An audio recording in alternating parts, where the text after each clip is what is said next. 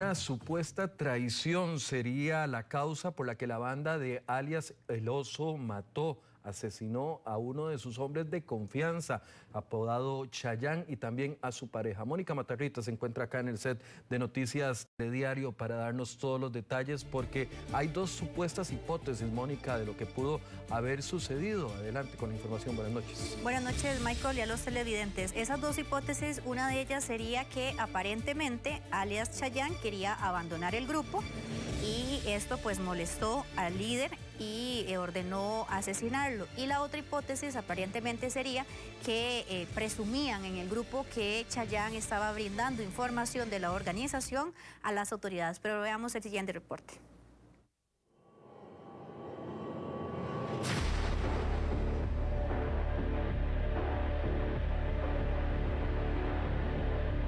Una supuesta traición. La causa por la que el líder criminal alias Oso asesinó a su mano derecha y la pareja. Los cuerpos de las víctimas los hallaron en un precipicio en Bijagual de Garavito.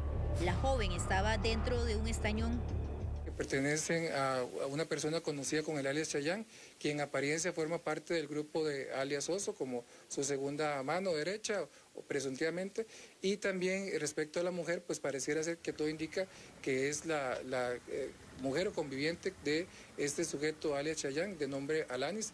Lastimosamente hemos visto que hay coincidencia en los tatuajes de, ambas personas respecto a este, estos dos individuos que ya hemos comentado. Entonces, eh, tenemos en un 99% la probabilidad o certeza.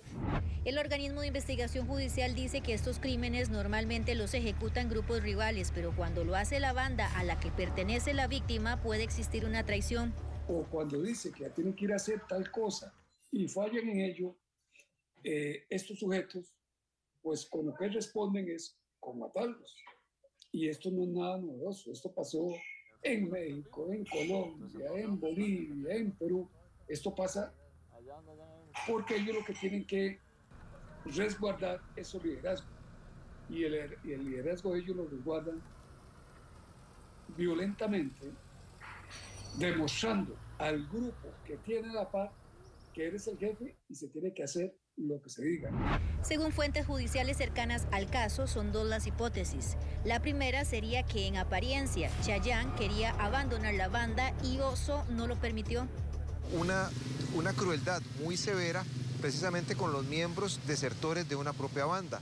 ¿Por qué? Porque se les ha entregado mucho, mucha inclusive emoción, ha, visto mucha, hemos visto mucha familiaridad entre ellos, llegan a verse como una familia. Entonces, el grupo que pierde un miembro y que siente la traición de un miembro, siente la traición literalmente de un hijo, de un familiar, de una persona que ha comido, que ha dormido con ellos, que ha intercambiado muchas veces eh, aspectos emocionales, aspectos de la familia, porque dentro de estos grupos criminales no solamente se habla de, de temas delictivos.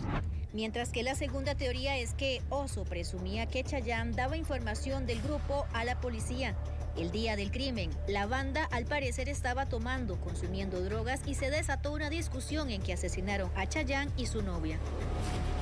Pero las venganzas de este tipo son cada vez más comunes según las autoridades. Y en el OIJ explican que ahora el mensaje de los grupos criminales es cada vez más fuerte, desfigurar a sus víctimas, calcinarlas y generar más sufrimiento. Eso es lo que ha venido dándose en los últimos dos años.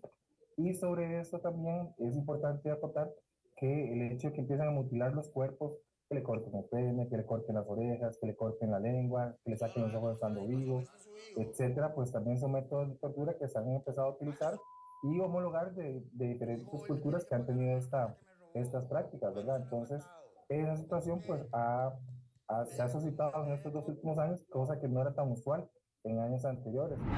Los especialistas aseguran que una traición a bandas criminales se paga con la vida propia o de familiares. Todo dependerá de lo que quiera el líder de la organización. El límite es la imaginación realmente y los grupos criminales suelen ser muy crueles precisamente con miembros que se han ido o que, les, o que sienten algún tipo de lealtad, porque lo sienten, los llegan a sentir como parte de su familia, a la cual le han encomendado todos sus secretos más íntimos. Entonces, una traición es equivalente a que ese grupo pierda continuidad o pierda algún tipo pues de ventaja sobre los otros grupos criminales. Entonces la traición simple y llanamente no es considerada como una opción dentro de un grupo criminal.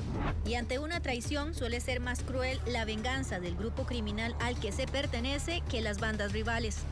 Ahora, alias Oso y los otros seis detenidos siguen en espera de conocer las medidas cautelares en su contra. Le informó Mónica Matarrita, Noticias Telediario.